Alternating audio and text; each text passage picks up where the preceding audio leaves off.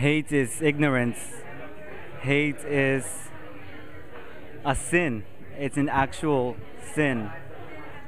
Hate is not unknowing, it's not understanding, it's living in a complete darkness and not knowing where the light is. You're, you don't know what light is, and light is love.